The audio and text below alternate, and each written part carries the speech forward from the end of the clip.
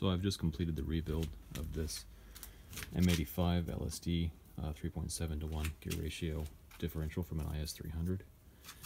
And um, what had happened to it was that uh, it had probably, I'm guessing, when these were changed, um, the person probably followed a video guide where there was a hammer involved. And this was probably sitting on the ground. So you do not want to be exposing this part to any type of mechanical stress laterally. It is meant to rotate and only rotate. It is not a support any which way. And so um, it didn't take long for one dent to become this mess, which uh, eventually created so much metal shavings that um, the seal, which I actually chopped up, um, was leaking. This is the side one. Um, the side ones had some damage as well but uh, like all those metal shavings in there, I, have never seen anything like it. There was so much metal coming out of this thing. Um, I was worried everything would be completely toast. So, uh, in my case, um, there's a bearing here that was done.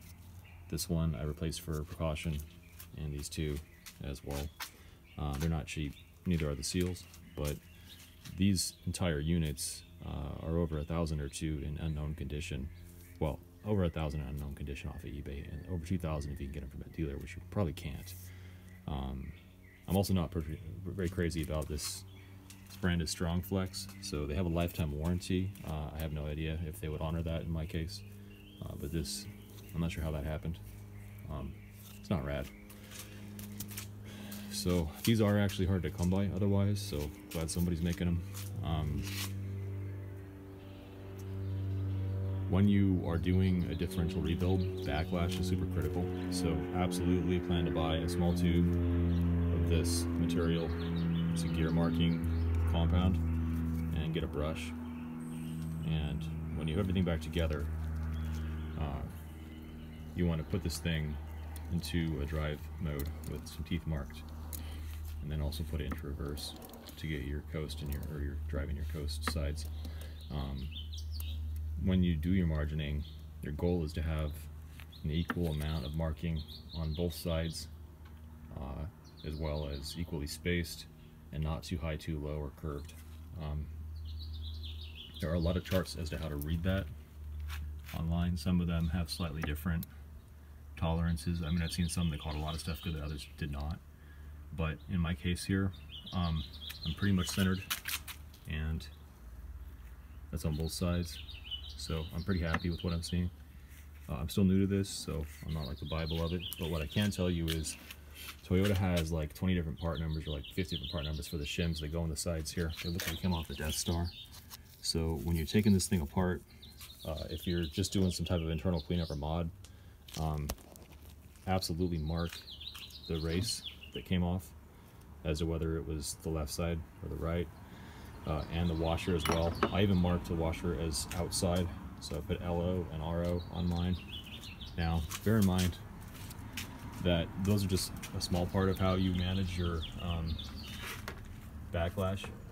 So a more critical component is this guy here. This thing, um, it's a crush sleeve, and it sits after the pinion gears bearing inside the housing on this side. And then, as you'll see in the diagram, uh, well, so you've got your case, right? There's your gear and your bearing. There is a part here that in my case was still in the case um, because the race was there, and so was that component. Um, that is your bearing that is your oil flinger. That is your seal. That is a metal dust cover, and this is slightly different in the drawing. This guy here, your input flange. Now, this input flange um, had some wear and tear on it, so the next thing I'm going to do when I'm done, I'm going to stand it up on its end with some ATF in it to about here and see if it leaks at all. I might even turn it a bit because these are not cheap and it has a pretty heavy gouge. So um, Hopefully that gouge is accommodated for by the spring and the seal. And I mean, hopefully it accommodates it for more than a few 10,000 miles. Hopefully it'll get by for 100 or two. But this spring, um, which I took out of one of these, is inside here. It holds the little lip in. So when you're doing a tear down, you'll want to uh, inspect the inside of that lip, kind of gently, just very gently, push it towards you and look at it. You'll see a couple of lines every so, so many segments, and they should look very uniform. If there's any type of scratching on there, just get a new seal. Um, so this is an LSD, so when you grab this thing and spin it, uh, it can break free of the input in terms of friction and coast. And if I tap this other one in here, this is just a closet hanger. If I were hold that side and this one and twist it, they would fight, but I have the one in my hand, so um, they will spin freely without the input flange on this and the opens. Um, but once they get a little bit of friction, they act as one piece. It's Torsen, so there's a bit of trickery in there. These are actually not fantastic for racing. Um, Torsen isn't isn't really meant for uh, high horsepower, higher abuse situations. As far as I can tell, there's better choices like uh, clutch types and things. And those, of course, going with a weld if you're not too worried about tire wear on a daily. But um, yeah, when you're doing your margining, uh, that crush sleeve, it's a one-time use thing, so you have to buy another one. And what you'll want to do is just get it to where this has no play in or out. It, it needs to be close to making full contact here. Um, and check multiple times, check this as you go. What I like to do is just mark a couple insides and outsides of one spot, and then when you're ready to check again, you just start wiping this way, all the way around. And once you get all the way around, you've wiped it all the way to there, every new marking is new after that heavy spot right there. So you'll be able to do it a couple of times. One tube was enough for a guy who's fairly new with this get by. Uh, I tried Desitin as a uh, absolutely desperate measure on my last scope on this other one over here, and um, it's a pumpkin. See, uh, it. You know, honestly, there's some good and some bad about it. I get much more clear idea of like void space with the Desitin, but this yellow stuff is super sticky and certainly doesn't smell as bad as cod liver oil. so I would say like um, Desitin might show some things that this won't, but the right thing is the right thing, and if you're learning, just spend a couple of bucks on the right thing. Um, so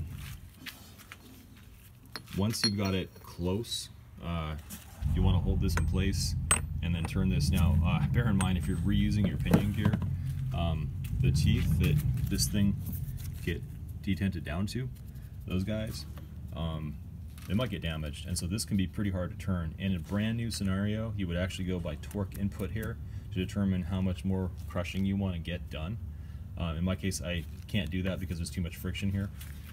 So I just held this in place, kept this thing where I wanted it, visually like kind of 12 o'clock on this and that hole there, right? and then I turned it a couple of turns on impact mode uh, until it got about um, a little less than an eighth. So you've got like this would be a quarter, this would be an eighth, so I was doing a little, little less than an eighth of a turn at a time. Um, tell this thing dialed from um, definitely too far out this way to I think as margined as I'm going to get. And if I kept turning, I would be overshot, and then that would cause gear wear and other really undesirable things like coasting and such. So, um, only other thing that I'm kind of curious about right now, I'm going to waste some of this. I'm kind of curious about these markings on the case here. So I'm going to go ahead just smooch this on here.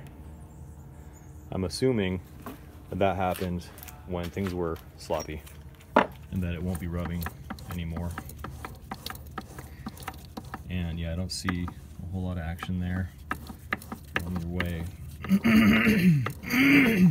but this thing was a metal milkshake inside. Uh, the other thing you can do is I can actually run this really gently, uh, not for too long so you don't have a lot of lubricant in there both ways. And I was doing that to get my markings as well.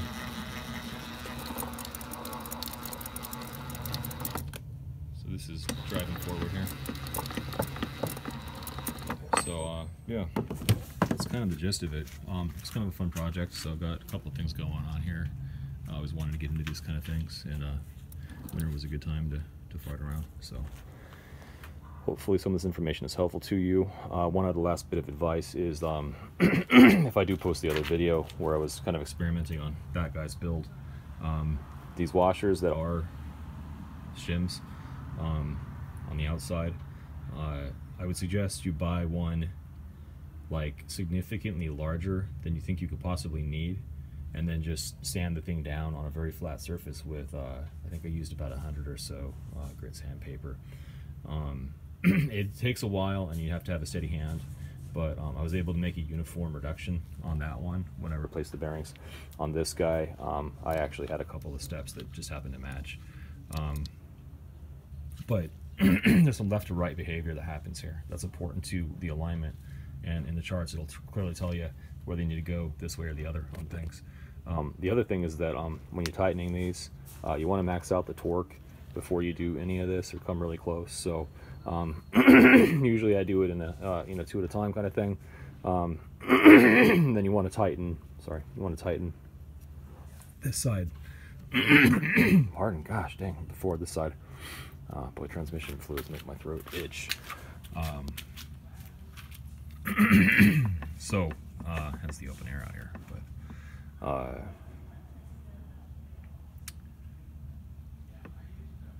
if you were to tighten them in a slightly different order, apparently for some forums that could affect um, how things land a little tiny bit.